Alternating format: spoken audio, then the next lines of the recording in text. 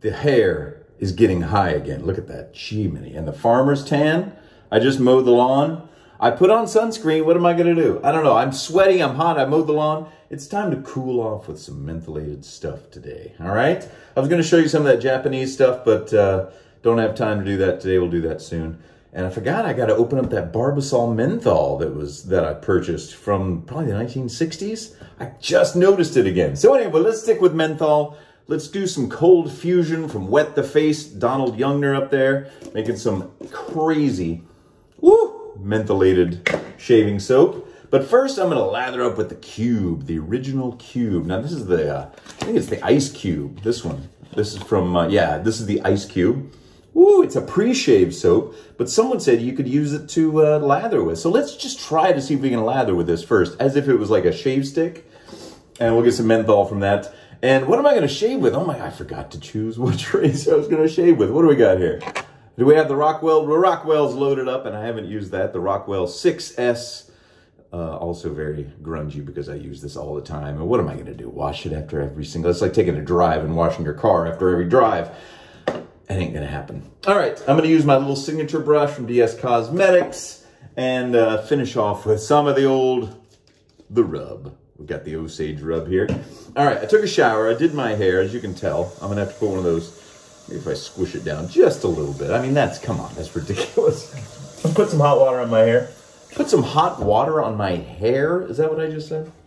I'm gonna put some lukewarm water on my face. Yeah. I did not shave yesterday because I went swimming and, uh, you know, just didn't shave. All right, so I'm going to take the ice cube. This is from uh, Phoenix Shaving, Artisan Accoutrement. Accoutrement. Accoutrement, fancy. And I'm going to get it a little bit wet. And then I'm just going to rub it on my whiskers. And you can see that I got whiskers. Hopefully you can see. Oh, so many people that just come across one of my, you know, more viewed shaving videos, they're like, you don't even have any whiskers to shave. It's like, what do they expect? What are they looking for when they shave? Do they have like a full, like, you know, hillbilly beard down to here? Now it's time to shave, by gum. Well, I tell you what, I shave just about every day, so my whiskers are that big. All right, look at the lines. See the whiskers. The lines prove the whiskers. I guess. You know that old saying. You know it. All right, this thing is slippery, man. I'm going to put it right here on the edge and wash my hands because I'm not going to be able to hold anything. Oh, got something in my eye. All right, so there we go. It's kind of like a shave stick. And let's see if it'll lather up, just for fun. Oh, look at that. By gum, it sure does. Why am I talking like a, like a, I don't know. Why am I talking like that? Like the Hatfields and McCoys all of a sudden. Look at that. Not only is it a pre-shave soap, it's also a shaving soap. Now, it might not be the easiest. I put a ton on here. And normally if you would use that much of like a shaving stick, then it, uh, then it wouldn't, you know, it would take a lot less to, uh, to get a good big lather. But hey, that's not bad. I will jump to the, uh, the cold fusion in a minute, but I just wanted to see if that would work for the first pass. And it did. Now it's a little stronger. If you get a little bit of that in your mouth, it's a little bit stronger. So not as mild as normal shaving soaps are, like the really good quality ones. The artisanal. Everything's so artisanal now. Oh, I make my own artisanal bitters. Oh, do you? Well, good. I'm glad. I actually had a lovely cocktail last night called a Blood and Sand. Have you ever heard of that? If you like scotch and you like cherry and you like orange juice, and I think there's a little bit of vermouth in it. Actually, you know, this is not very slick, this uh, shaving soap as far, well, it's supposed to be, right? Maybe I'm just feeling it. Anyway, blood and sand cocktail. Look it up and try it out. Now, you probably won't have the ingredients uh, except for scotch and uh, maybe vermouth and orange juice. But then the other ingredient is cherry Heering. And that's a, uh, it's not a real, it's not like maraschino cherry flavor, but it does have, it's a, a liqueur, I believe, that they add to that. It is such a pleasant, refreshing, kind of fruity cocktail. I don't mean fruity in the fruity. I mean, it's good. It's just good. Blood, blood and sand. Try it out. That's an old one. He was invented in New York City in the 1930s, and I love those old cocktails. Remember when all that cocktail culture just started coming out, like in the early 2000s? People became mixologists. They weren't bartenders anymore. Oh, those was the good old days. Oh man, I'll tell you what, this is mentholated. I am feeling it where I've already shaved. Oh man. My eyes are starting to water. Yeah, one of these hot, sweaty days. When you're mowing your yard, I gotta fix my mower too. My little, one of the cables broke off, so I'm gonna have to, I ordered one and got it, but I got the wrong one. There's two and I ordered the wrong dang one. So that's lawnmower talk. Thank you for joining me here on Lawnmower Talk with the Lawnmower Man. Great movie, by the way. Lawnmower Man. Fant. Uh, no, it wasn't a good movie. Okay. Whew. and that wasn't even the, the, the cold fusion. That was just the ice cube, which is also very mentholated. Man alive. I'm going to actually wash out my brush so I can lather up the cold diffusion on its own. Unadulterated. Now this is kind of a soft, squishy one, so you just kind of dip your the tips of your brush. It's almost like toothpaste uh, consistency. So just dip a little bit in there. It doesn't have to be too much. And then put a little bit more water on there. And then that may have been too much water and not enough soap.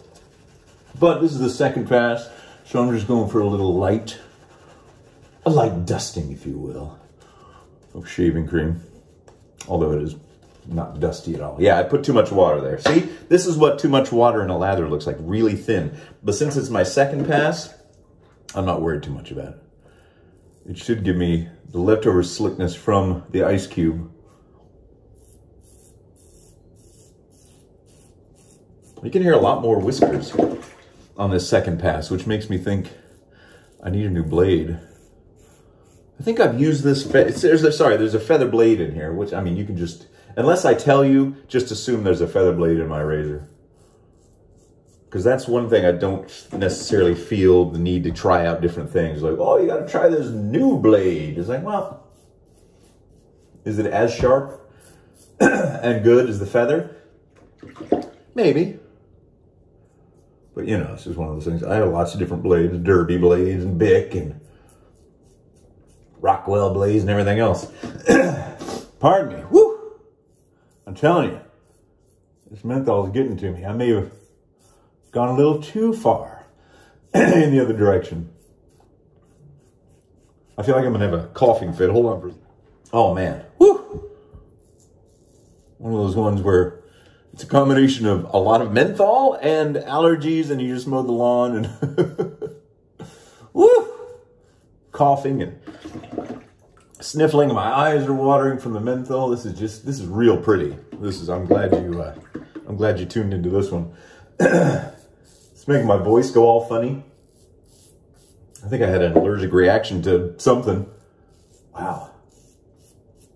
Maybe there's cat hairs in that. Uh... I'm not allergic to cats. Okay. There's part two. Woo! Mentholated. It's really probably too much. Probably too much. Oh, man. Pardon me. All right, let's see. I'm going to go back one more time. I'm just going to get a little bit more, just for fun, just for the heck of it. Oh, man. Yeah. Ooh. Man, I feel like my eyes are red. There's tears streaming down my face. She's terrible. I'm going to try to make this as quick as possible, but still go safe. Excuse me. my gosh. Yeah, I'm definitely crying now. I'm ready for my close-up, Mr. DeMille. Oh, boy. Woo! Yeah, I can also tell that this blade, this is the last shave for this blade. I can't remember how many I've done, maybe three, four, perhaps. Oh, man.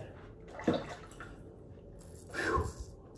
You're watching a man being overwhelmed by menthol.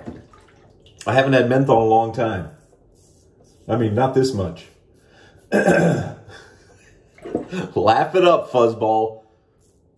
I hear you out there. I hear you saying, well, you did it to yourself, Sinatra, and I'm, I agree, I did. I'm not blaming anyone but me. The buck stops here, as they say. Take responsibility for your mistakes, folks. I always like to give out dadly advice. Take responsibility for your mistakes. Even if your pride gets in the way, do it anyway. Ooh, I got a couple of bloody nicks. Oh man, this is a one heck of an episode. Wow. I'm gonna need a break after this. Woo! All right. I ain't done yet, folks. I'm gonna put, oh, I can't put cold water on. It's gonna make my head pop off. It's so cold. Oh, I'm just, I'm like putting water on my whole face right now. My eyes and everything. Gotta blow my nose after this. Oh man. Pardon me. Woo! Oh gosh. And then I'm just surrounded with it. Oh. Oh. I'm glad I'm not using the cold diffusion aftershave. Because that would be like the coup de grace, you know? That's French for, uh, that's all she wrote. Not really, I'm just kidding. Ugh. All right. Osage Rub, the, the least mentholated thing I've got here today. oh, man. Woo! I'm going to have to go lay down. Lie down, lay down. I'm really good in English, but those two I always forget. And my wife always reminds me. All right, everybody. Well, thanks for hanging in there with me. I'm going to go like pop my head off and shake it and clean it off and dry it off and all that stuff. But I hope you found some sort of enjoyment out of this, out of my pain and suffering. I'm going to have to stop these little nicks if I can just by doing this. And uh, it, that's it. All right, everybody. Have a good weekend. This is just me stopping the bleeding. Uh, have a great day, and uh, I'll see you all on Monday with something new. I'm not sure what. Maybe that. Maybe I'll bring the Japanese stuff out from that uh, Japanese store that had a few shaving items, but no razors. Unfortunately, unfortunately. But there are some little trimmers that I'll show you. all right. See ya.